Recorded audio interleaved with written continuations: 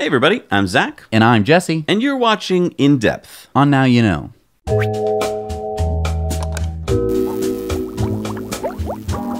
This week's show is sponsored by our friends at the Schaumburg, Illinois Fairfield Inn and Suites by Marriott. What makes them special, Jesse? Well, they are the only hotel in the Chicago area that are solar powered. Yeah, they are. All right, so we're going to be covering in this in depth another fantastic article by Ross Tessien in Seeking Alpha. Now, you might be saying Seeking Alpha.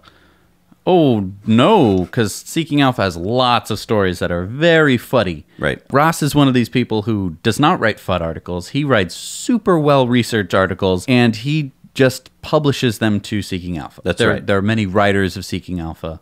He is one of them. This is one of his articles. Yeah, and we're going to take you through how Rivian's latest truck reveal and GM's factory shutdown now fits in with the decimation of big oil and big auto. So let's dive right in. All right, so I want to start by pulling a gem of a chart out of Ross's article. This here sets the stage. It shows the adoption of technology in the United States from 1900 to present. So what's the first thing you think of when you see this chart, Jess? Uh, it's a rainbow.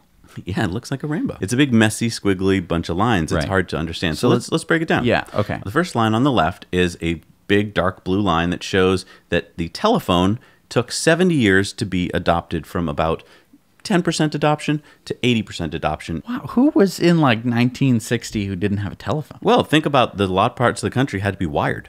So if your town wasn't wired for a true. telephone, you know, it wasn't cheap. Like it took a long time to actually physically, technologically wire up the country. Wow. Okay. Next line is electricity, and that took 35 years for very similar reasons. If you didn't have a line going to your house with electricity, mm-hmm. you didn't have electricity. Wow. Next is ice cars. That took 50 years, and that's because they're not cheap. They were expensive and they, they had horses. Why give up my horse? I mean, I just feed him some hay, and I don't have to go to the gas station. But then we start to see some interesting things happen. So next is radio, and that only took 15 years, mm-hmm. and that's because radios weren't that expensive, and they got cheaper and cheaper. Refrigerators, that took 18 years because some people still had ice boxes for a while, and why they switch a, from they that? had a good alternative. next is black and white TVs. That only took Eight years. Yeah. Wow. To 80% adoption. That's amazing. now color TV took a little longer, 10 years. Why do you think that is? They had a pretty decent alternative. Yeah, already got a TV. Don't Right. need your color whippersnapper thing. Right. Credit cards took a bit longer, 35 years, and that's because you went from paying cash to using credit, which is a huge shift in how you would think about spending money. I think a lot of people balked at that. and still do. Next is microwave ovens. That only took nine years. The PC took 25 years, but that's because they weren't cheap when they first came out. They cost thousands of dollars. Room size. And they didn't do much. I mean, let's Right, be honest, yeah. they word processing. Next is a cell phone. That took nine years. Now we see this clump of, of lines, and that is internet, digital camera, MP3 players, HD TV, social media, smartphones, tablets. What do those lines look like to you? Straight lines, vertical. They're just going whoop. As Yeah. soon as the technology comes out, it's like a matter of weeks and months before you get it. Right. It- So- it's not the years that we're talking about before, like ah, maybe I'll get the telephone in in fourteen more years, something. You know, some crazy thing like that. Right. It's just like, okay, Christmas. I guess I'll I'll get a, a an MP3 player. Exactly. So, what does this chart look like? Uh, adoption is accelerating. These things that you know usually would have taken decades now take a matter of years. Right. That's because technology is Right. accelerating. Wow. Because when we introduce a new, new technology, it can get to all of us faster and cheaper faster. So keep these adoption curves in mind and how they are accelerating. Now, Ross points out that many analyst graphs that try to predict the future of the shift from ICE to EV sales look like this. Doesn't really look like those adoption curves that we were looking at before. Right, It- see that yellow like- line? Right. There's like a little. There's like a little bit of an S curve, and then it goes. I'm going to go linearly up to eighty percent. Right. It's not how it works. Not how it because works. Because as more people get it, more people want to get it. If And it's the a price good goes down. technology, right? Exactly. Ross says that can't be right. So, what is going to happen to ICE car sales? It's not going to obviously follow that curve. So, as Ross points out, there are two problems with this graph. One, it doesn't look like a typical disruption curve. And two, and I'm quoting here, the decision to purchase a new car is separate from and independent of the decision to purchase an EV instead of an ICE vehicle. When someone decides their next car will be an EV, sales of ICE vehicles drop immediately. However, EV sales do not grow until that person finds an EV with features and price that meets that person's needs. So there's a gap basically. There's a gap between when someone gets in a Model 3 cuz I've seen I've seen this. Mm-hmm. People will get in a Model 3 or many different EVs. Mm-hmm. You get them in an EV, you show them what it can do and the, the switch in their brain yep. goes, "Wow, I this is amazing. I don't want to drive my Honda Civic to work anymore." Mm-hmm. Many different reasons why you might want to switch to an EV. Right. And all of a sudden, you're not thinking about, okay, I'm going to get a new car. Right. You're just thinking about, I'm going to get an EV. When can I get it? And when can I afford it? Right. So it's important to not get lost on this step. When someone realizes that they want an EV, they will wait for up to three or four years until they can buy that EV, even if the EV they want isn't available yet. Meanwhile, what happens to ICE sales?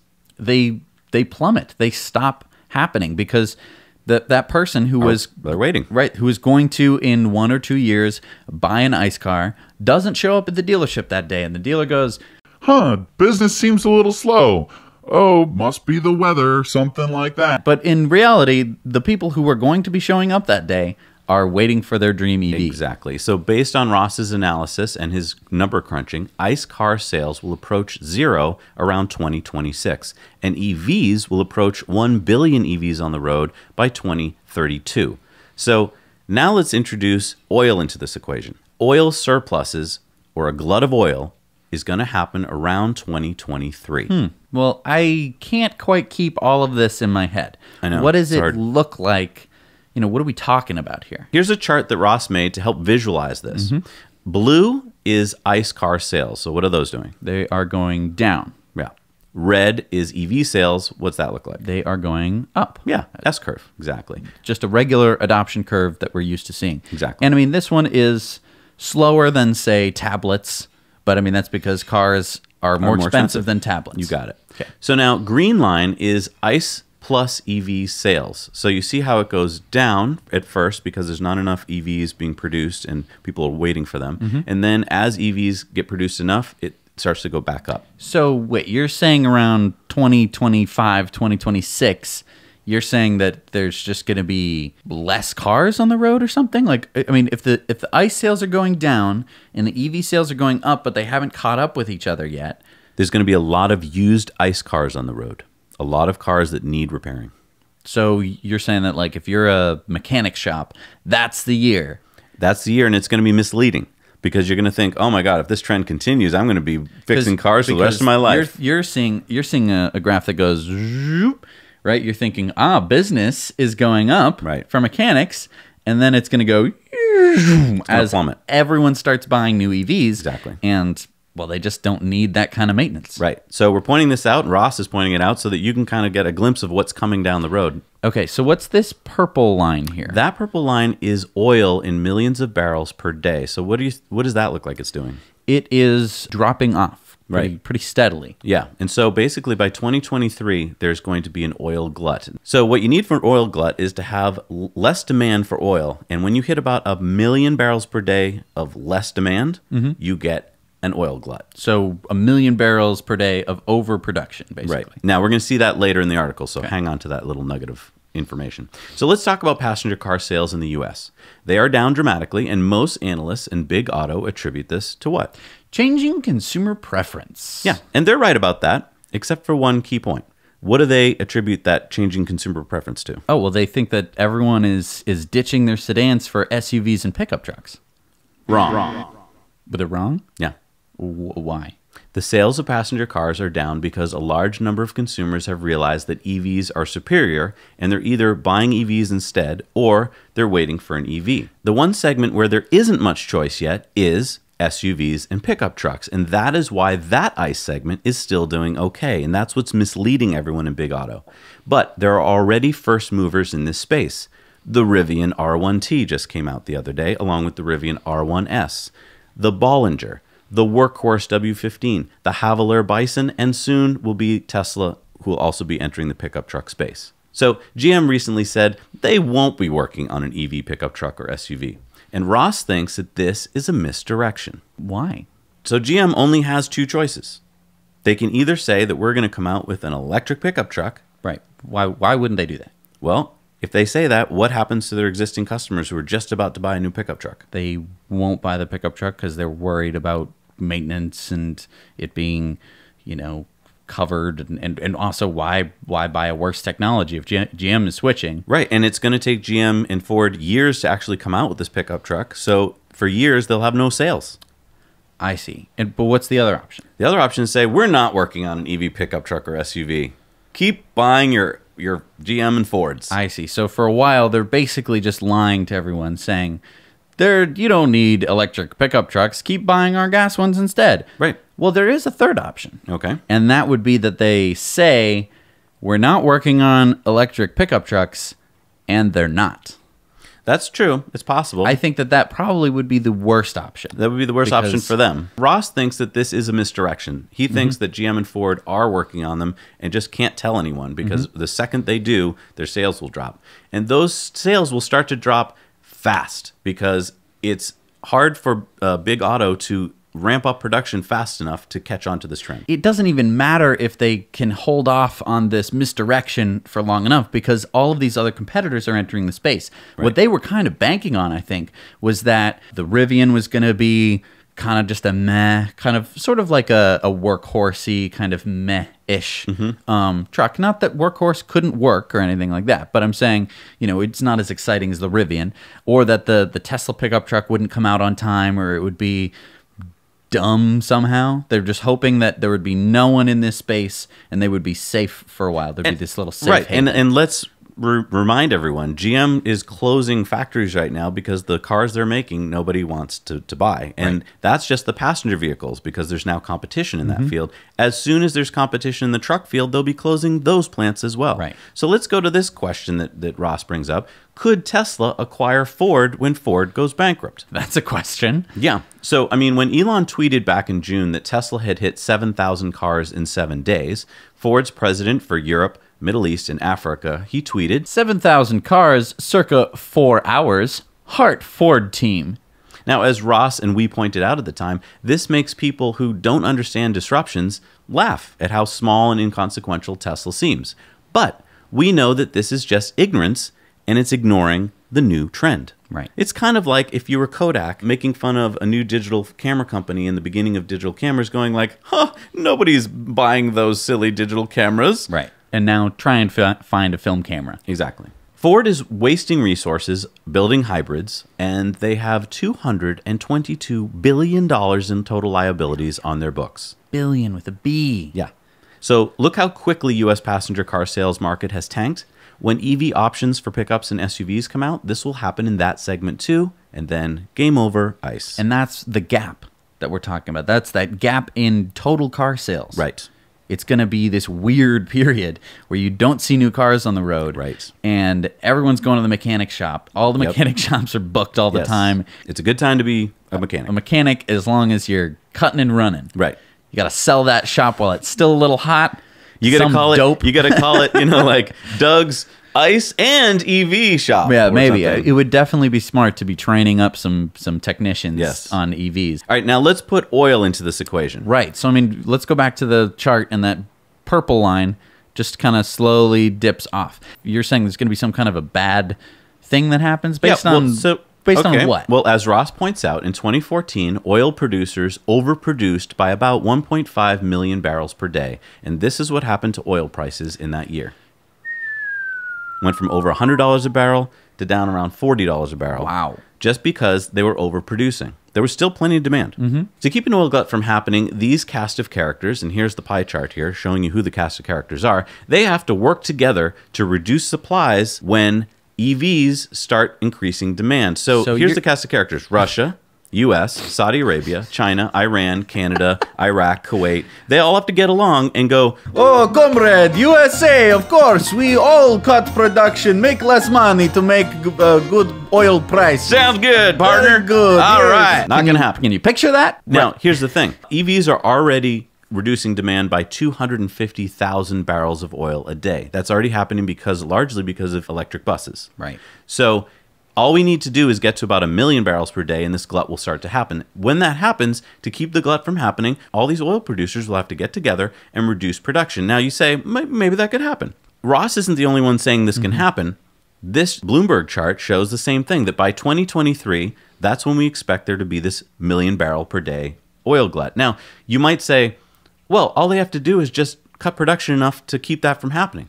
But let's take a look at this. 56% of global oil demand comes from transportation. Problem for oil producers in 2023 will be that each year it will get worse for them as more and more EVs are sold.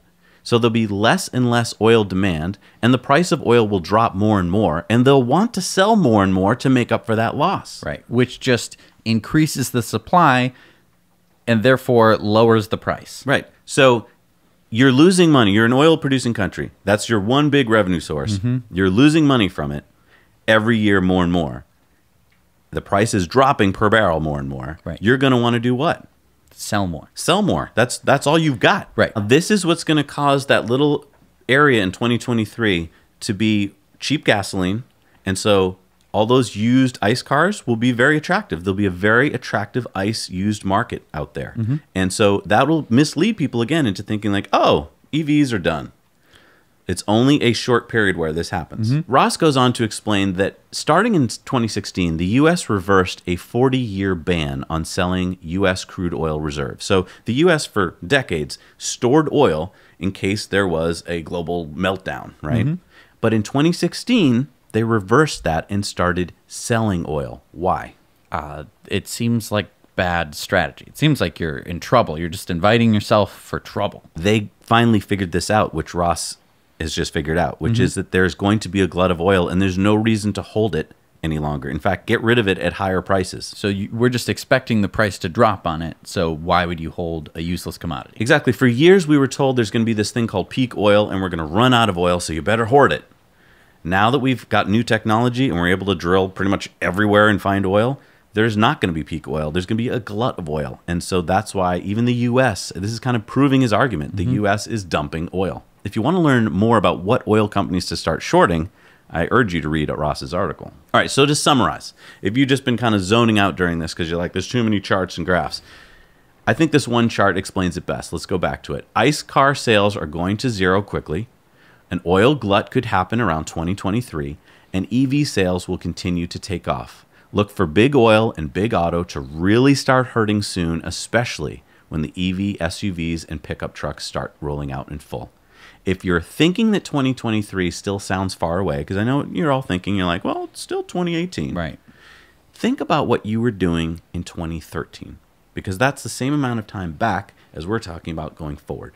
Does 2013 feel to you like it was like back in the old days? Not really. No. It's And I mean, I'm young, recent. so it's that's a big chunk of my life right there. Right. I mean, you were in college. Right. And so it's not far away.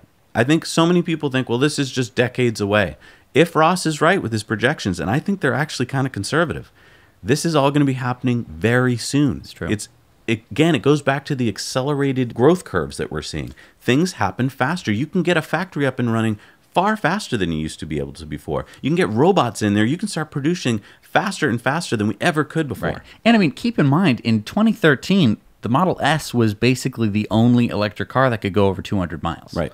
Now we have so many more options, and they're just continuing to grow in number. And I mean, Rivian just followed in Tesla's footsteps. They found an, a, a Mitsubishi factory that was selling dirt cheap. They secretly, you know, start building a luxury SUV and pickup truck. Mm-hmm. It's going to be expensive, but it's going to be amazing when it comes out. Right. And and here's one thing that I think that a lot of people kind of miss. They they look at the front of the truck and they go, "Oh, that thing's ugly. No one's going to buy it." And, "Oh, it's going to be so expensive. No one's going to buy it." Not everyone has to buy the Rivian truck for them to make a huge impact in the market. Right. Okay. They have to make a tiny little blip. Okay, because right now all they need to do is raise more money, Mm-hmm. and they can do that by selling a luxury, high margin Exactly. pickup truck, Just like Tesla did. And they don't have to sell it to everyone on the street. They just have to sell a few tens of thousands They're of them. they're creating a luxury brand name Right. just like Tesla so that when you hear Rivian you'll think luxury. Then if they release a lower priced pickup truck, which shouldn't be hard to do, Right. you'll be like I'm buying a Rivian too. Right. It's it's brilliant. it's exactly what Tesla did. I think that it's a really, really smart move. And, and I mean, people think that, like, oh, Teslas are too expensive, therefore no one buys a Tesla. That is not the case. People buy Teslas. Now that the Model 3 comes down, obviously more people buy Teslas, but people have been buying Model S's since it came out. And that is kind of what made Tesla possible is the people buying Model S's, the people buying Model X's. These are really, really expensive cars. Normal people do not have these cars. Right. And now they're finally producing Model 3s which can actually be bought by normal people. Yeah, I urge you to read Ross's article. Fantastic. We only kind of touched the surface. It's a real deep dive. He's got all the facts and figures to back it up, and we really want to give a shout out to Ross for writing these fantastic articles. So go check that out. Thank you so much for joining us here on In Depth this week. We really appreciate you joining us every week. And don't forget, subscribe and like our episodes. It really helps us out a lot. All right. Thank you so much for watching. Now, you know.